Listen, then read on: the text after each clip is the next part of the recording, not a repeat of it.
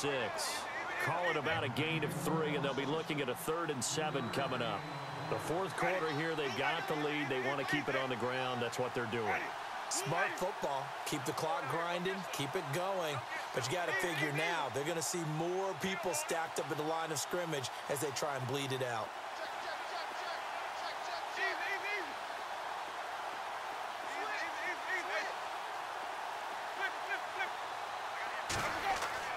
Winston.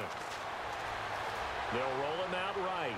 He's going to let this go deep for Jackson. So they took a shot there on third down, couldn't get it. Now it's four. So this is what happens when you throw interceptions. That confident veneer that you have gets chipped away a little bit. Maybe a little bit gun-shy throwing it around. Yeah, under throwing him there, and you're right. Those interceptions maybe in the back of his mind. And with things looking pretty good on the scoreboard, they're going to keep the offense out there and go for it here on fourth.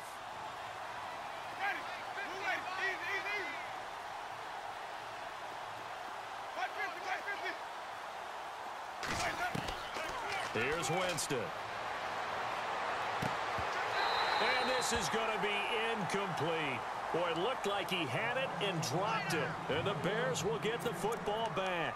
So we were looking at each other up here in the booth when they went for that saying, oh, wow, talk about trying to add insult to injury. Some teams are just like that. You know, some philosophies, some coaches are like, look, when I got a chance to put some more points on the board, I don't care what the situation, I'm going to do it. And they're also the same coaches as a general rule that if someone does it to them, you won't hear people protest out of them. That's just who they are. And he'll be brought down at the 48-yard line. A gain of six there on first. Decent start to the drive, but let's face it, they need a lot of things to go right in a short amount of time down three scores. Yeah, they're going to run their two-minute offense here in this game, but this is for future games. Can they get better and be ready for the next time, hopefully with a chance to win? Now Glennon. And a hit jarred it loose. It's incomplete. Brandon, at least there's one bright side to that incompletion. What's that? It wasn't an interception. Wow. you're, you're a nice guy. That was kind of savage. But correct. No, no pick, just incomplete that time. And no press coverage here. They are backing off in the secondary. Over the middle complete. That's Cunningham. And he'll be taken down, but not before getting this inside the 30. That's good for 21 yards and a first down.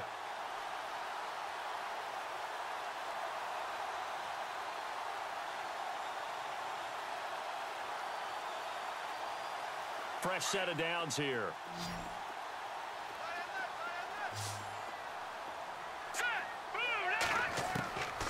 He'll drop to throw. Incomplete. Took a shot, couldn't connect. He was looking for Zach Miller as tight end there. That'll bring up second down. This defense was definitely alert to the possibility of the deep ball, and they were more than ready for it. They've got the lead fourth quarter. Maybe can expect more passes like that downfield. That's incomplete. Nearly another pick. My goodness. Another wayward pass. You know, things started out poorly in this game, and to be frank, they just really haven't gotten much better. And all that does is embolden a secondary. They feel good about what's going on, and they just play better and better. The Bears on third down. They've converted just two for six thus far. This is third and ten.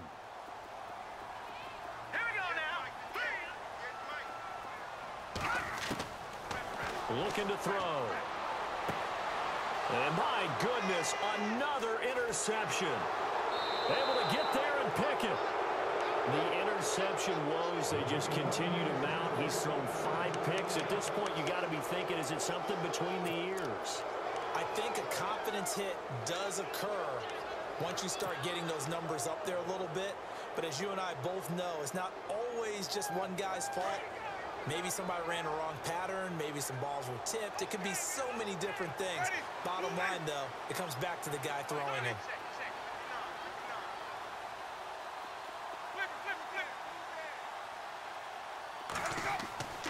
Jameis now on first down. Got his man complete over the middle. That's Evans. And they're going to get this one all the way out across the 45. 23 yards on the play. They have the nice cushion. they just want to pour it on right now, still throwing the football. And I know my background says, why do you need to do this? Just go ahead and run out the clock and get a win. But as many people pointed out to me, this is a video game, man. go ahead and put the numbers up. Sportsmanship, not an issue. Exercise those fingers. Dancing to his left. It won't be a sack, but it's no gain, and it brings up second down. And while he did a good job of sliding around in the pocket, there was nowhere to go with the football, so he had to take off and try and run. He just got back to the line of scrimmage, no gain.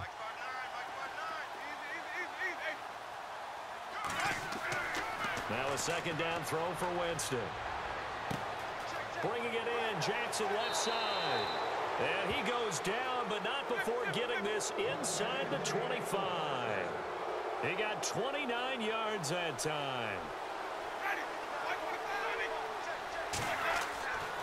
First out, here's the run with Martin. And he's able to work free for about six down to the 18. Good gain there on first down. It keeps him in a running situation, probably. They did everything right on that play, didn't they? They got the leverage up front, good blocking, nice hole for him, ends up picking up nice yardage, stays in bounds to keep the clock rolling. They are in charge of this scenario right now. They want to stay that way. And not in any rush offensively.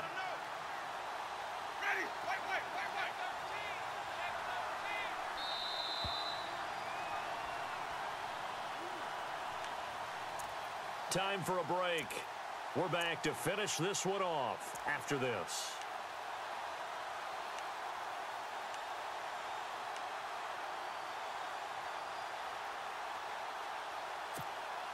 The Bucks on third down. They've hit it 50%, three of six to this point. Here it's third and two. They'll try a little trickery here on the end around. And he's able to pick up the first down before he's tackled right at the 10. The gain of five that time gives him the conversion and makes it first and goal.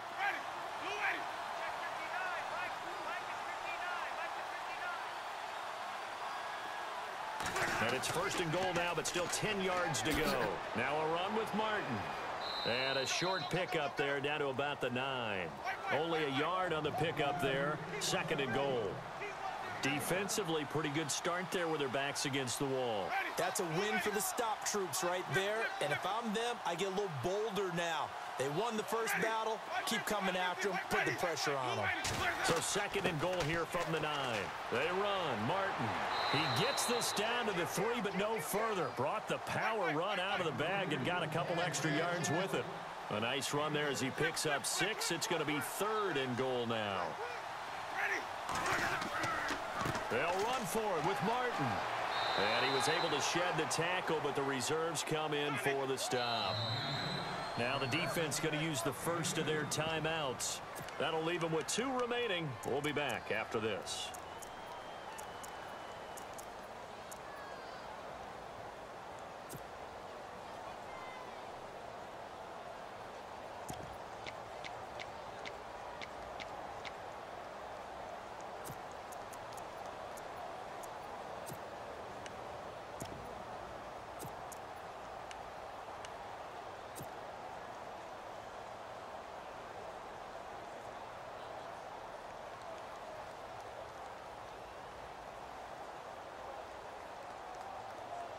I guess not content to get another three here late. They'll try to add six more as they go on fourth and goal.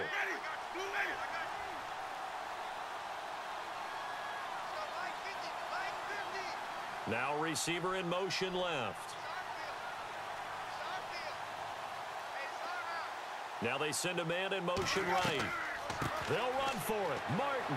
And he will fight his way into the end zone for a touchdown. Doug Martin taking it in from a yard out. And the Bucks are going to add on to their lead. Is it okay if I break one of our rules, partner, which is to never call a game over until it's over? Because this certainly feels like it's over after that drive. Yeah, that was spirit-crushing, wasn't it? And now you can you just kind of felt the air go out of the balloon. Yeah, they were fighting so hard to stay in there, and they knew they had to stop them on that drive. But when they were unable to, I think you're exactly right. You could see them sag on their sideline, and I think this one might just be over.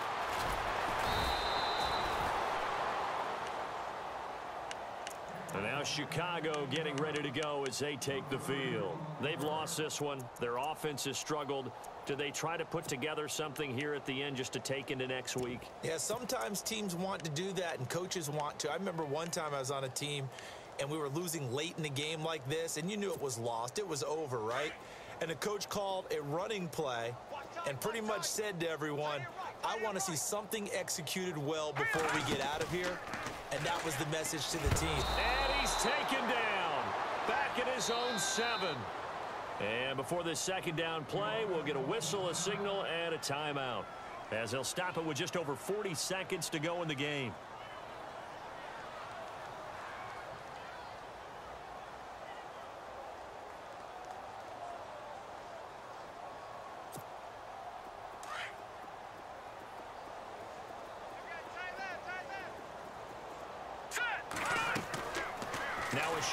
Snap as they'll look to throw. And now here is another interception. Picked off by Keith Tandy. And it's a pick six. He brings it back to the house for a Buccaneer TD. Defensively, they've had their way in this one. That pick six makes that scoreboard even more lopsided. I remember talking with a guy in the league, and I said, what do you do when the game's like this? You know, it's pretty much over. You ready to go to the bench and hang out? He said, oh, heck no. I want to stay on the field. I might get some stats. I might get a pick or two. you like being out there at the end of these wide margins. When they have to throw it, that gives you more opportunities to go get it. This is taken at the three. And he'll get across the 20 before he's brought down at about the 23-yard line. And now Chicago getting ready to go as they take the field. They are just obviously getting shellacked here in this one, Charles. What's, what's the message if you're a coach for this final drive in a lopsided game like this? For a lot of coaches, be honest. Don't forget today. Don't forget what has happened out here. Yeah, use that as ammo exactly. going forward. Take a great... Under a heavy rush, and down he goes. Now, before this second down play, we'll get whistles and a timeout as they'll stop it with 27 seconds showing on the clock.